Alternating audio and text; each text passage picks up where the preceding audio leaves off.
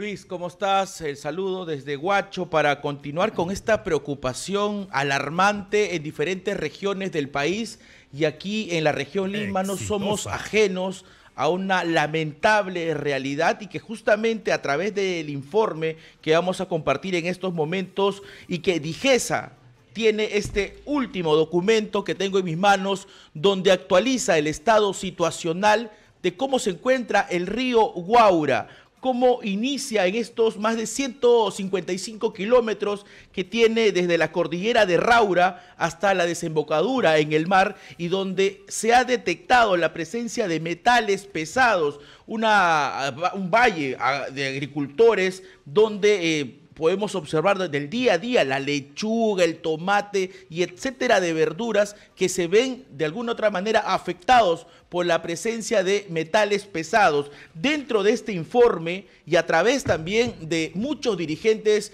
de la agronomía del Valle Guaura Sayán han elevado la voz de protesta y a través también de encontrar empresas agroindustriales que no están teniendo un protocolo correspondiente al momento de desechar sus productos, empresas como también se han visto cuestionadas, la empresa Redondos, Agroimper y justamente ayer la OEFA ha estado dentro de la empresa Redondo, donde han intervenido debido a una gran cantidad de quejas de vecinos, porque esto ya lo habíamos sacado en anterior informes en tres, cuatro oportunidades, porque emana un olor nauseabundo donde muchas familias no pueden respirar y están siendo atentados contra la salud pública. Conversamos con Jorge Pacheco Marcos, representante de la mesa de concertación, acerca de lo que está ocurriendo y con este informe que dijesa evidencia de lo que hoy el río Guaura se ve altamente contaminado, afectando a los vecinos y a los pobladores de esta parte de la provincia de Guaura. Escuchemos al representante y estamos con el coordinador de la mesa de concertación del distrito de Guaura, Jorge Pacheco, que nos va a comentar acerca de esta problemática que se está reportando acerca del estado situacional del río en mención. Don Jorge, estamos en vivo para Exitosa. Coméntenos acerca de cuál es el estado situacional y la contaminación que hoy representa el río más importante de esta parte de la provincia de Guaura. Mira, ya hace más de 10 años tenemos este eh, gran problema con el río Guaura, donde eh, desde aquel entonces se viene virtiendo todos los, eh, residuos químicos de las empresas mineras hacia nuestro río Guaura.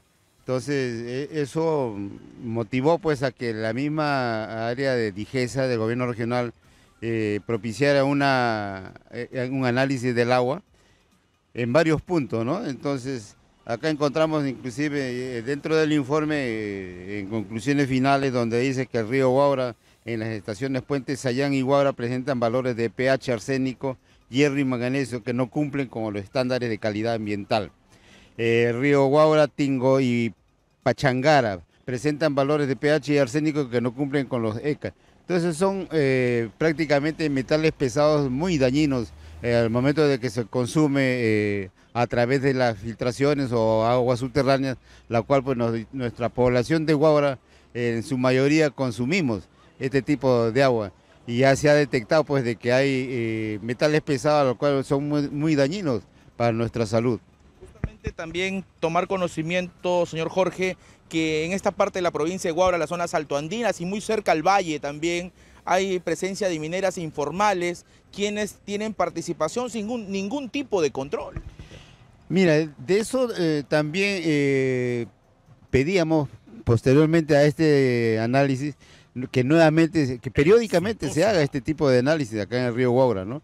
Entonces, eh, por allí la persona pues que nos dio esta información, que no es del gobierno regional, nos manifestaba pues de que era difícil de que volvieran a hacer este tipo de trabajo, puesto que están acondicionados pues a las empresas mineras ¿no? Tanto en aquel entonces pues funcionarios, hasta de repente la, la máxima autoridad del gobierno regional.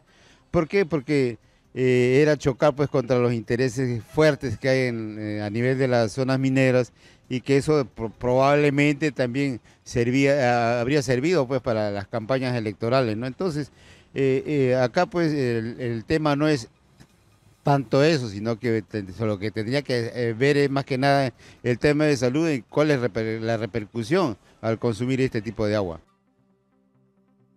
preocupante verdaderamente porque lo que nos está manifestando el señor Jorge Pacheco es que a través de esta grave denuncia y este informe que dijese a través del Ministerio de Salud dan de conocimiento y recomiendan. ¿Por qué? Porque en esta parte de la provincia de Guaura hay mineras informales que se han dado a conocer y que a través también de lo que estamos visualizando contaminan el medio ambiente, contaminan el río Guaura y por ejemplo las recomendaciones que dan es claro, la autoridad competente ambiental es el MINAN, produce el Ministerio de Vivienda, Construcción y Saneamientos, a la OEFA, han invocado a la OEFA mucha participación porque al igual que Puno, lamentablemente no hay una respuesta inmediata para poder combatir. Y aquí, lamentablemente, autoridades también estarían coludidas con estas mineras informales para no hacer absolutamente nada y que la gente se siga enfermando, Luis. Muy preocupante lo que ocurre